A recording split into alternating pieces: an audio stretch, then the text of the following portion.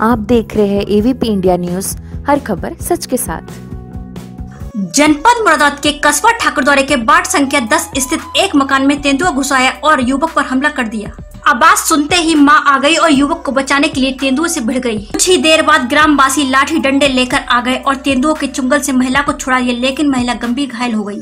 वहीं ग्रामवासी ने तेंदुओं को अदमरा कर दिया। मौके पर पहुँची वन विभाग के अधिकारियों ने तेंदुओं को उपचार हेतु अपने साथ ले गए। मुरादा श्रीपाल सिंह राणा की रिपोर्ट। छह बजे के टाइम में सुबह सोचो का अड्डे जाऊँ बारिश हुई तो हम लोग वहाँ गए। तो से कमरे में बैठे बाहर। आठ बजे छोटी उसका पड़ा उसका। तो उसके अंदर कबाड़ा पड़ा है झूले सामान वगैरह ढूंढे, और उसके अंदर बड़ा बैठा था ये तो जैसे मैं झाँका अंदर को वैसे इसने मेरे को हमला कर दिया। जब हमला करते तो जैसे शोर मचाने के बाद में थोड़ा बाहर के एकदम से फिर कब्रस्तान जाकर बैठ गया कब्रस्तान हमारे घर के। उसके बाद फिर दोबारा आ गया अंदर को। दोबारा सब बच्चे चक्कर लेते बच्चों के चक्कर में हम बचाने चक्कर में बच्चों को हमारे अंदर कमरे में कर दिया तो हम अपनी पड़ी दरवाजे, चक्कर मारिए उनको खूब खुला नहीं दरवाज़ा, एकदम से बच्चों ने बंद कर दिया अंदर से।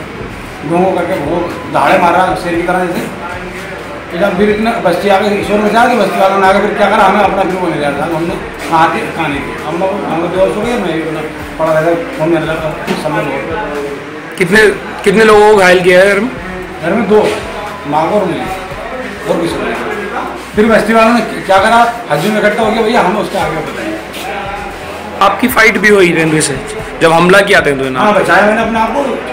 छुड़ाया उससे अपने आप को। इसी के बीच में क्या पूरा मामला है?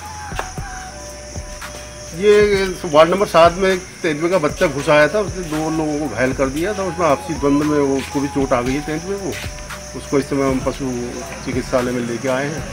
यहाँ अगर देखते क्या ट्रीटमेंट मिलता है तो अभी Bareilly I V R I में ले जाएँगे। सर ठाकुर द्वारा में लगातार तेंदुओं का आतंक बरकरार है। क्या वजह है कि तेंदुए नहीं पकड़े जाते यहाँ से?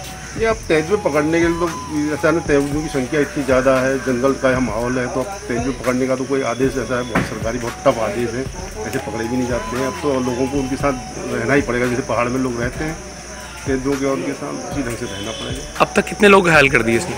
इसके तो आज तो दो लोग घायल हुए हैं उनको ले गए हैं अस्पताल में भर्ती करा दिया क्या स्थिति से पीटा गया है?